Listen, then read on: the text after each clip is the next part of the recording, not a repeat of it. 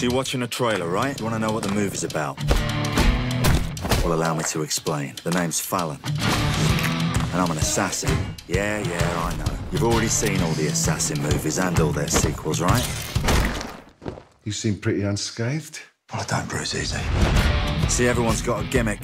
Carnage Cliff, he's a butcher, specializes in severed heads and chopped off limbs. Mick and Mac, ex-special forces, turbocharged soldiers of fortune. Jane the Ripper, she's the honey trap killing machine. And Poison Pete, well, you can work that one out for yourself, can't you? And as for me, well, I make them look like accidents. Everyday, ordinary accidents. But now I've got a problem. You see, the love of my life just turned up in a box six feet under, and I'm certain that it was one of my crew that put her there. She was pregnant. But which one of these wankers did it, I'm gonna find out. And when I do, there'll be a few more fatal accidents around the corner. You got some balls on you, don't you?